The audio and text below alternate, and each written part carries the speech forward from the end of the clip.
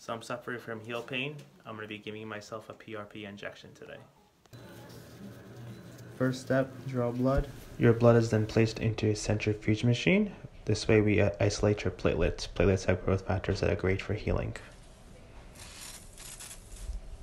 A little freeze spray for local numbing. Injection being performed for plantar fasciitis.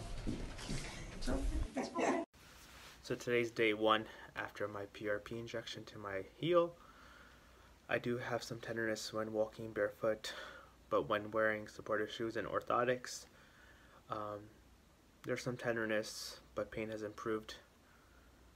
Let's see, um, sometimes we can do a cam walker, so would recommend that to some patients post-op PRP, maybe for a week or so, but the pain is tolerable without a cam boot.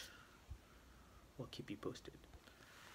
Alright, so this is day two after my PRP injection to the heel. Um, first step out of bed did not hurt today, which is such a great relief. Um, walking normally without a limp, could put pressure, full pressure actually on the heel. Um, so far, so good. Hey guys, it's um, day three of my PRP heel injection. Heel pain is feeling great. Um, loving this PRP injection right now. I'm walking without any limping, without any pain. Um, actually wearing like Vionic sandals right now.